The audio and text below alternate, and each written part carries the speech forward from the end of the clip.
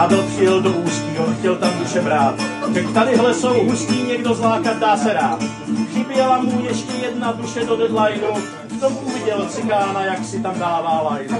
Řekl mu jsem, ďábel, ty máš duši ješity a vsadím se, že piko vařím lepší než ty. Prohraješ-li, tak do pekla jdeš na to tata, když však vyhraješ, tak ti dám varnu ze zlata. Cikán řekl jsem, Laco, no a to si mu nepiš, že lepší piko nežli já rozhodně nevaříš. A co ten si věří, ale mně se tají dech, jeho piko je vyhlášený v celých sudetech. Náravně on vaří, ale kdyby však měl pek, ďábel by mu sebral duši, až by jednou celý.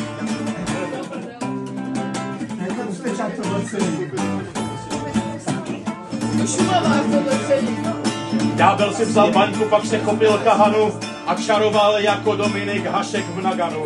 Náhle hustý černý mrak a i hned z něho ven se vyrojili démoni a drtí moda fen.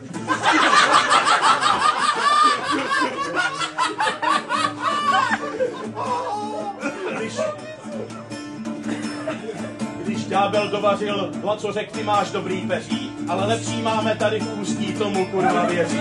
Tak máš Laco jako král, aby ďábla udolal. Laco kurva, tak se snaž, efedrín hrdíčku váš.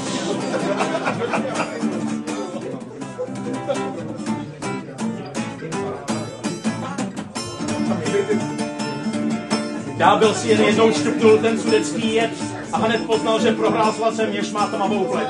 Ten řekl zlatu si seber hned s tím do prdele jeď. U nás ve sběrných surovinách berou jenom mě. a zlatý jako král svým pikem ďábla udolal. Ale co ošklivě se splet, tohle je český Breaking Bad.